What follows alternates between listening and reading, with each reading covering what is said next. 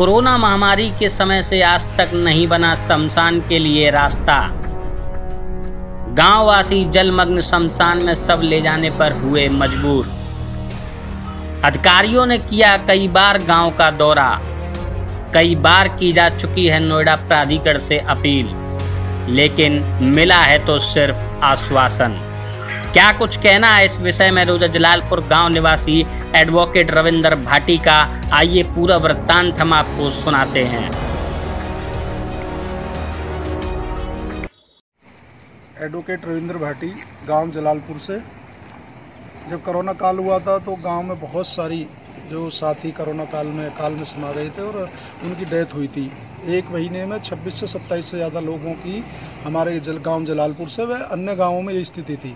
तो उस समय जो हमारे शमशान घाट का रास्ता है, वो बहुत ख़राब था और वहाँ तक जा तो हमने ग्रेटर नोएडा के अधिकारियों से सीओ को लेटर लिखकर इससे अवगत कराया था। ग्रेटर नोएडा के अधिकारी आए, उन्होंने दौरा किया लेकिन एक भी रुपया गाँव जलालपुर में शमशान घाट के रास्ते पर या अन्य जो रास्ते जिनमें कीचड़ भरी रहती है, जिनसे हमारे गाँव के लोगों को गंभीर रोग होते हैं, उस पर एक भी काम नहीं किया गया है। मुझे लगता है कि हम प्राधिकरण के एजेंडे में ही नहीं है।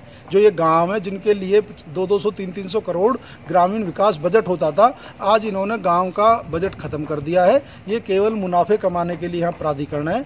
इस आपके माध्यम से हम माननीय मुख्यमंत्री जी जो 22 तारीख को गौतम बुद्ध नगर में आ रहे हैं, उनको अवगत कराना चाहते हैं कि इन ऐसे अधिकारियों पर जो केवल ऑफ़िस में बैठकर गाँव की समस्याओं का अनदेखा करते हैं, उन पर कार्रवाई की जाए और जो हमारे गाँव का शमशान का रास्ता है, क्योंकि आज एक हमारे गाँव में डेथ हुई और उसमें पानी में से निकाल के जो चार लोग कंधे पे ले जाते हैं, केवल दो लोग कंधे पानी में से निकाल के अंतिम संस्कार के लिए गए, ये बहुत दुख का विषय है।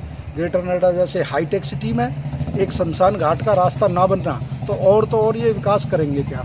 इसलिए ऐसे अधिकारियों पर कार्रवाई की जाए और अथॉरिटी के अधिकारी इसका जवाब दें कि शमशान घाट का रास्ता कब बनेगा या उसके लिए भी कोई आंदोलन करना पड़ेगा।